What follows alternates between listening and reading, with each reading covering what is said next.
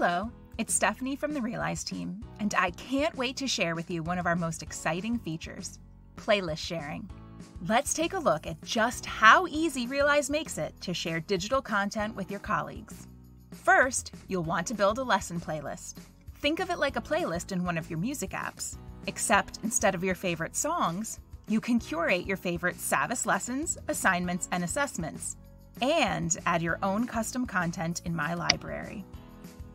After you've found the item you want to add to your playlist, simply select Add to Playlist and either create a new playlist or select from a list of playlists that you've already created. Once you've built your playlist, visit My Library to see all your custom content, including playlists, and start sharing.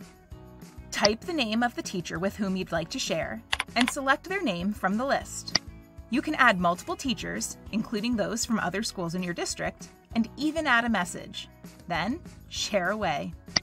Shared playlists will always be indicated within your list. Recipients will receive a notification on their top menu when a playlist has been shared with them, and they can always access shared content in the Shared with Me tab of My Library.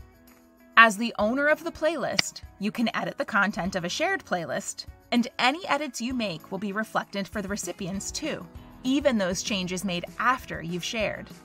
You can also add additional recipients or remove teachers with whom the playlist is currently shared. Removing a recipient will automatically remove the shared playlist from their Shared with Me content.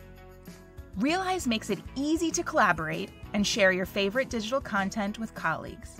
We are always working to improve your Realize experience, so stay tuned for more to come.